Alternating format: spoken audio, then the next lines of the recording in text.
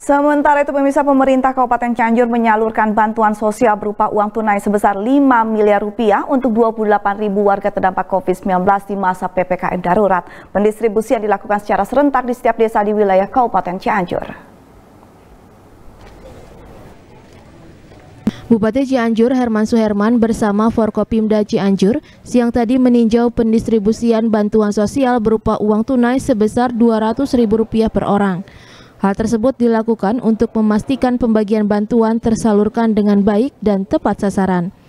Bantuan tersebut merupakan bantuan dari Pemda Cianjur yang digelontorkan sebesar 5 miliar lebih untuk 28 ribu warga terdampak COVID-19 berpenghasilan rendah di masa PPKM darurat. Bantuan tersebut merupakan bantuan dari Pemda Cianjur yang digelontorkan sebesar 5 miliar lebih untuk 28 ribu warga terdampak COVID-19 berpenghasilan rendah di masa PPKM darurat. Hal tersebut dilakukan Pemda Cianjur khususnya guna membantu meringankan beban masyarakat untuk kebutuhan sehari-hari di masa PPKM darurat.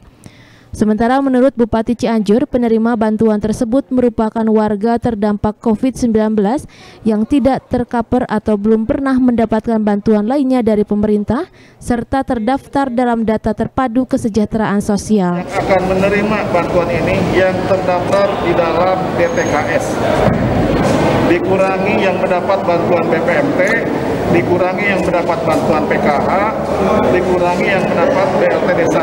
Sisanya hari ini akan kita bantu untuk mendapat bantuan untuk kehidupan selama PPKM darurat.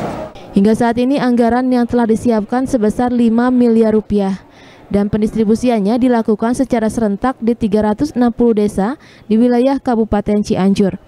Herman menegaskan, jika ada petugas yang mencoba memotong bantuan tersebut, maka akan berhadapan dengan hukum. Heri Setiawan, Bandung TV.